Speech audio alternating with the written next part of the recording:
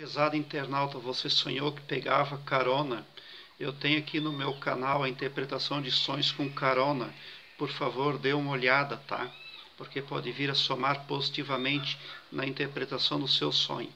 Neste vídeo eu vou tratar de pegar carona com um veículo desagradável, velho, enferrujado. Tá?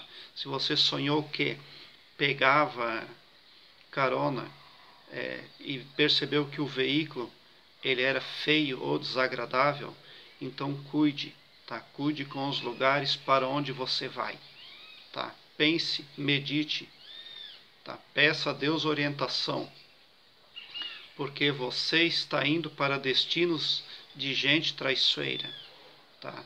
De gente de baixo nível, de gente conspiradora. Por quê? Porque o veículo no qual você embarcou no sonho era desagradável. Era sujo, era velho, era enferrujado. É preciso é, observar estes detalhes aí. Tá? Você pode estar tá transitando é, pelo meio de gente estupidamente traiçoeira. Cuide com isso. Tá? Agora, se você sonhou que pegava uma carona num veículo forte, possante, tá? onde não havia nada de sujo ou de enferrujado ou de desagradável, então é muito positivo, é muito bom. Tá? E se você sonhou que pegava carona num veículo velho, sujo, feio ou desagradável, faça a seguinte afirmação: Querido e maravilhoso poder criador, eu te amo muito. Por intermédio de nosso Mestre Maior Jesus Cristo, eu me declaro super protegido, super abençoado, super estimado e super assertivo em todos os meus caminhos. Por méritos de Jesus Cristo, nosso maior mestre, eu me declaro super alegre, super realizado, super rico, super próspero, super saudável, super amoroso, porque, meu querido e maravilhoso poder criador, a vossa força e o vosso poder e o vosso amor estão em mim.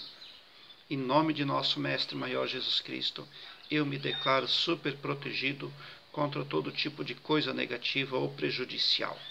Já aconteceu, está feito. Amém. Quando nós fazemos estas afirmações, nem que seja no plano mental, várias vezes durante o dia, as mandalas à nossa volta vão se formando na perfeição, transmutando a nossa realidade positivamente. Quando nós ocupamos o nosso pavilhão mental com afirmações nesse sentido, nós estamos é, criando ondas positivas e as coisas negativas não quererão e não poderão permanecer no nosso pavilhão mental, mesmo que elas queiram. Tá? Precisamos ter controle mental pensamento, falácia e imaginação são poderes, poderes individuais que o Criador deu a cada humano. E saber gerenciar esse capital psicomental é muito importante para magnetizar as coisas boas que queremos para as nossas vidas. Prezado internauta, deixe o seu like, se inscreva no meu canal e ative o sininho para me seguir, porque quem me segue, segue o bem.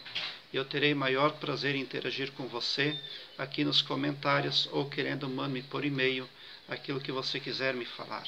E ó, gratidão por assistir aos meus vídeos.